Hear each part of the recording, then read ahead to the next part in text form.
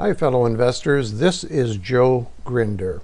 I recently received some requests from new subscribers to sectorsurfer.com regarding how do you go about inserting or creating a new strategy within Sector Surfer. So today I'm going to show you how to do that. In this presentation, part one of Sector Surfer, creating LMRIG strategies. Don't worry, I'll explain what LMRIG is in a minute.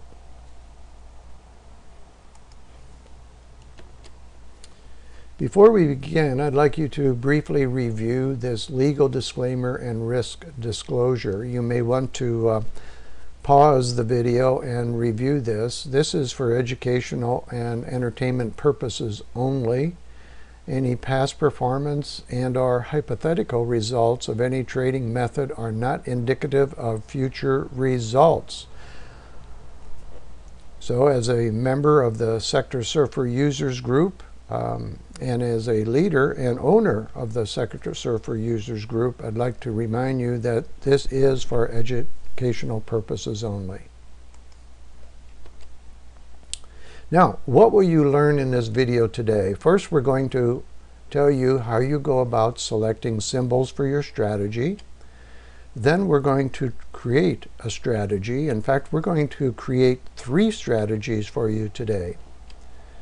We're going to show you how you'll go about naming and loading the symbols into your strategies going to give you an explanation and hopefully you'll obtain a understanding of the sector surfer chart. We're going to review the chart for each of the three strategies. Then we're going to compare your strategies. And finally, there will be a strategy analysis.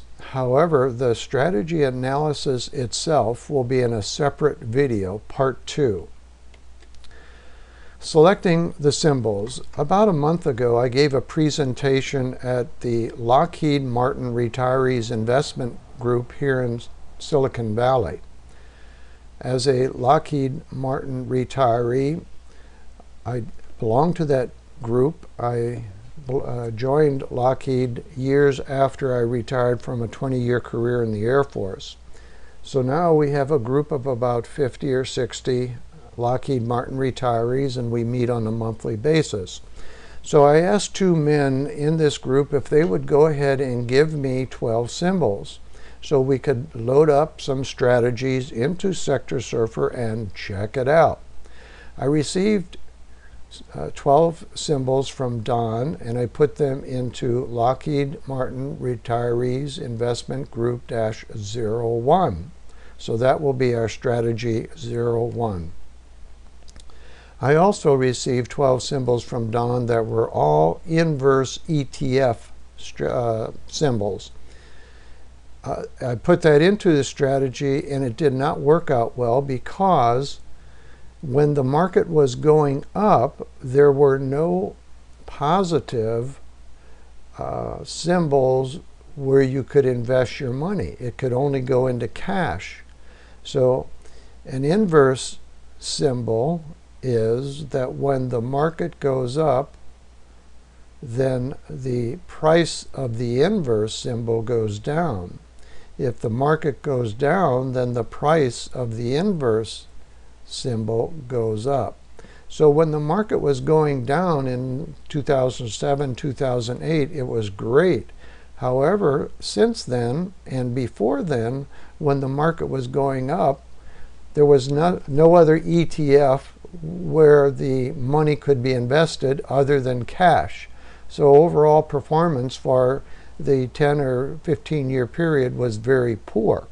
So instead what I did, and as a freebie for each of you viewers, I went to the Hall of Fame and picked a premium strategy, in this case the Kick-Ass 2 strategy, which is has a hedge in it consisting of symbol SH, which shows you a dash or a minus sign, that is the inverse of the S&P 500. So when this strategy is not in one of the other symbols listed, and the market is going down, in, it shifts to, instead of cash, it will shift to the inverse of the S&P 500. So while the market's going down, the inverse, SH, should be going up. And you'll see that in the chart in a few minutes. The third column on the right, this column right here, Bill provided me 12 symbols. They're all ETFs, and there are no duplicates in his symbols with those included in Don's symbols. So in effect, we're going to have three strategies, one, two, and three. Two of them, one and three, were provided by members of the investment group. The other one, the center one, came from the Hall of Fame. Now, to load your symbols, after you've selected your symbols, you go to the My Strategy page and you insert a name. So in this case, I deleted, so I blocked out 1 through 5 so we don't have too much clutter on this slide. We started with number 6, which I titled LMRIG01, and those are ETFs. And as a note here, to remind us, this is Don's uh, ETF listing. I inserted the 12 symbols as shown on the previous slide. I activated it in Sector Surfer on the 27th of May. At that time, it said wait. In other words, stay in cash. The second strategy is the Kick-Ass 2 strategy. It has an I because there's an inverse symbol within the list of symbols. And that is SH, the dash or minus, is the inverse symbol. The rest are all positive symbols, all positive ETFs. This was created by the chief sector surfer, Scott Juds, so I noted that in, in this section. I also activated this on the 29th of May, which is today. LMRIG3 are Bill's ETFs. I inserted those here in this center column. There are 12 symbols. I activated that on the 27th of May. So we now have three different strategies, two provided by gentlemen from the retiree group, and one came out of the Hall of Fame.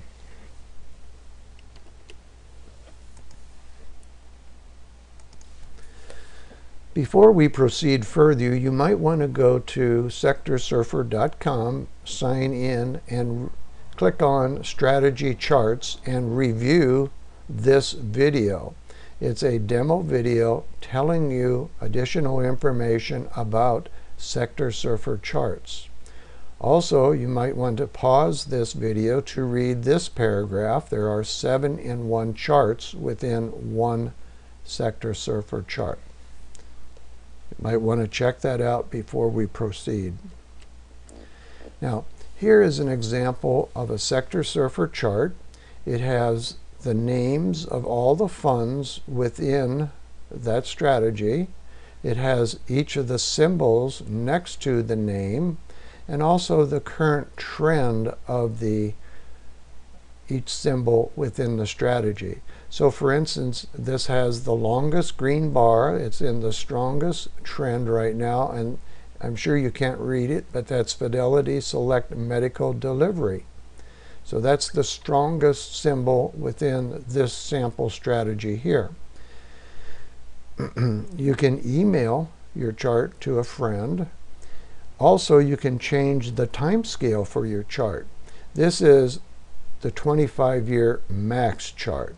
You can click on a 10-year, or you can click on a 3-year to zero in more closely on just the most recent years. You also have three risk measures within the sector surfer chart. The first, you have the Sharpe ratio, which is located here. You have the maximum drawdown during the 10-year period, which is right here. and a probability of loss, which is shown in this area of the chart. I'm not going to go into great detail right now because we'll do that in video number two. And finally, wherever you see yellow, that is your sector surfer strategy. Where you see white, which is mixed in here, that is the S&P 500.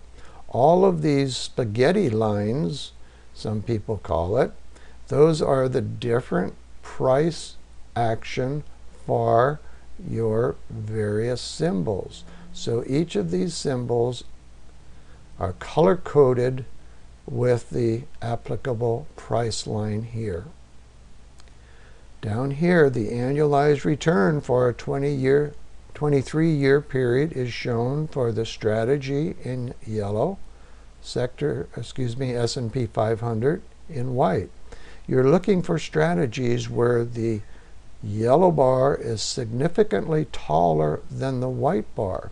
So that tells us that the sector surfer strategy for this 20 year 23 year period significantly outperformed the S&P 500 the same thing here in the 10 year period. The yellow bar the strategy was significantly better than the S being in the S&P 500 and the same thing for the 3 year so in all three of these columns, you can see that the sector surfer strategy that this is was significantly better than having your money in the S&P 500.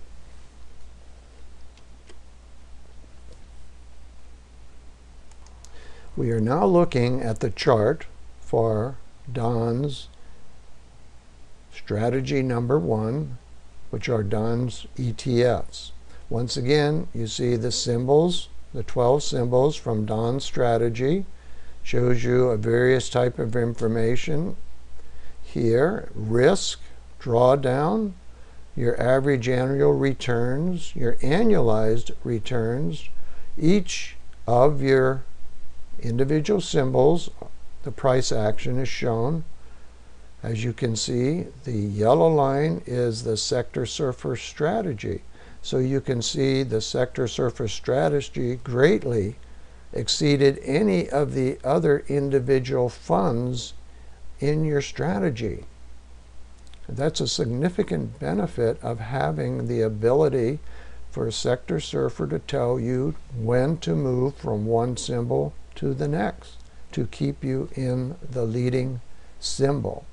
Where you see a flat period right here, another flat period, another flat period here, that is when Sector Surfer went to cash. In other words, StormGuard, which we'll talk about later, told you the market's going down, started to go down here, time to go to cash. So you missed all this terrible period in 2001 and 2002. Also here in 2008, you missed the big crash we had in 2008 because you were sitting in cash if you followed the directions given to you by Sector Surfer. Here's the LMRIG02, which is the Kick-Ass 2 hedge strategy, as found in the Hall of Fame. This is, was created by the chief sector surfer. As you can see, look at his line. It is tremendous return. we'll go into this more, uh, more deeply um, later, but look at these returns. An annualized return of 32.9%. That's fantastic. Look at this. In the last 10 years, it's almost a 40% return per year. I sure love that. I hope you do too. And let's take a look at strategy number three, which is Bill's strategy, strategy his symbols. Once again, the bill symbols are here. The trend, the best right now is Japan Total Dividend ETF.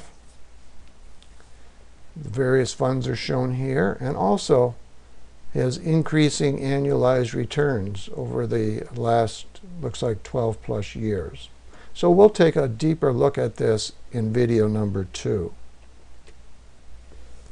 I then extracted all of the information from the three charts and put them into this comparison matrix. These is the information extracted from Don's 01 strategy is shown here. The 02 kick-ass strategy from the Hall of Fame I inserted here. Oops. And number three, Bill's information from his strategy is inserted here. Now what we're going to do in video number two, we're going to analyze each of these items row by row and discuss them so you have a real under, good understanding of what exactly is available in a sector surfer chart. Now this video will be continued in my next video called Sector Surfer Creating LMRIG Strategies Part 2. So you'll want to definitely check that out to see where do we go from here. And this is what you look for at Investors Help, our channel Joe Gruender. This will be the thumbnail for the, uh, for the next visit uh, video. So see you soon on the next video. Bye for now.